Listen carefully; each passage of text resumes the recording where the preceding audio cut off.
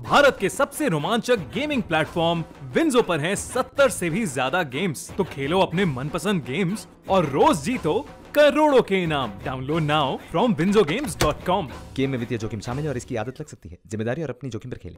तेईस मार्च से मिस्र की स्वेज कनाल में फंसे एवर गिवन नाम के मालवाहक जहाज़ को कड़ी मशक्कत के बाद 29 मार्च सुबह साढ़े चार बजे निकाल लिया गया।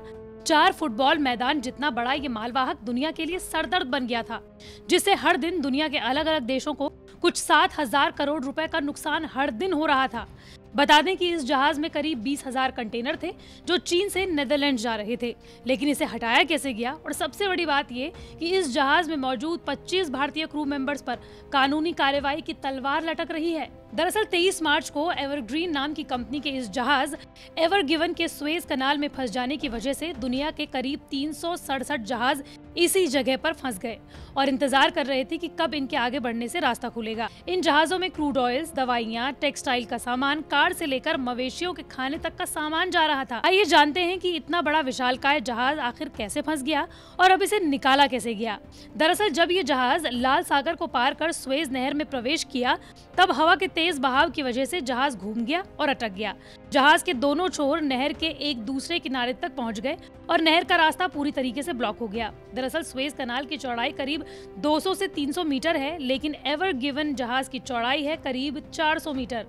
मिस्र के अधिकारियों ने पुष्टि करते हुए बताया है कि तेज हवा की वजह से जहाज़ घूम गया और कीचड़ में अटक गया। स्वेज कनाल के अधिकारियों के मुताबिक 23 मार्च को यह जहाज़ नहर में फंसा था। उस दिन 50 किलोमीटर प्रति घंटे की रफ्तार से हवा चल रही थी। मालूम हो कि एम वी एवर गिवन जहाज़ दुनिया का सबसे बड़ा मालवाहक जहाज़ है। साथ ही ये पेरिस के आईफिल टार से 20 गुना ज़्यादा भारी है। इस जहाज़ को निकालने में सबसे बड़ा चैलेंज था तीस हज़ार क्यूबिक मीटर कीचड़। इस जहाज़ को निकालने के लिए 10 टग बोट्स का सहारा लिया गया। पहले आठ टग बोट्स को लगाया गया था, लेकिन फिर जब सफलता नहीं मिली, तब और टग बोट्स को लगाया गया।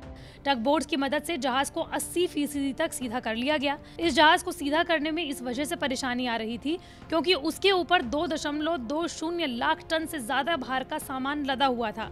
आपको बता दें कि जिस तरह से किसी गाड़ी को खींच ले जाने के लिए टॉइंग वैंग होती है, उसी तरह से जहाजों को खींच कर ले जाने के लिए टग बोट्स होते हैं, जो बेहद शक्तिशाली होते हैं।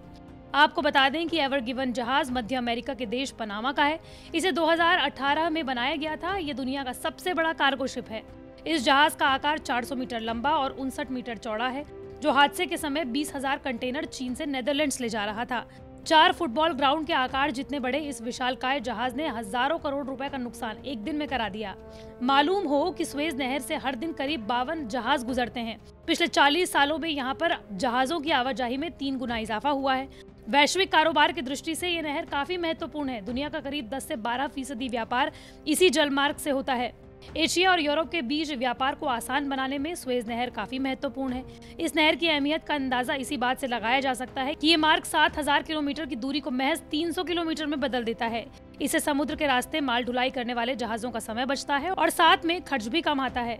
इस मार्ग की बदौलत जहाजों को अफ्रीका महाद्वीप का चक्कर काटकर भूमध्य सागर में जाने से छुटकारा मिल जाता है। आपको बता दें कि स्वेज कनाल बनने का काम अठारह सौ उनसठ में शुरू हुआ था, जो 15 लाख मजदूरों की सहायता से 10 साल में पूरा हुआ। अठारह सौ उनहत्तर में इस कनाल में आवाजाही शुरू हुई। ब्रिटिशर्स ने इस कनाल को बनाया था, लेकिन उन्नीस सौ छप्पन में इस कनाल को मिस्र सरकार को दे दिया गया। इस कनाल की लंबाई करीबन एक किलोमीटर है। पूरी दुनिया का 10 प्रतिशत ट्रेड इसी कनाल से होकर गुजरता है।